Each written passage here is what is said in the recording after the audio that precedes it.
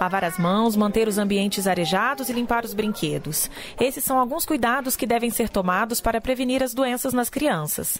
Aqui nessa creche pública, o cuidado com a saúde dos alunos está em todo lugar. Tem dois dias na semana que é dia de faxina. As crianças vêm para o pátio, é quando eles vão brincar, interagir com outras crianças, correr. Aí, nesse momento, as meninas fazem a higienização das salas. A partir do berçário até o segundo período, elas fazem essa higienização. E os pequenos já estão aprendendo desde cedo a importância de ter hábitos simples que diminuem muito as chances de contaminação. Para não ficar sujo, para não ficar doente febre, mal-estar e desânimo. Esses são alguns dos sintomas típicos das infecções infantis.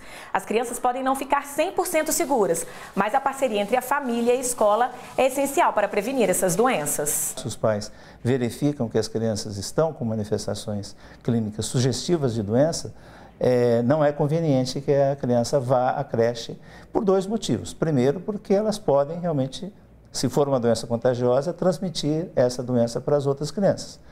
Uh, o outro lado é que a criança precisa ser cuidada, né? E não é na creche que ela vai ser cuidada de uma doença.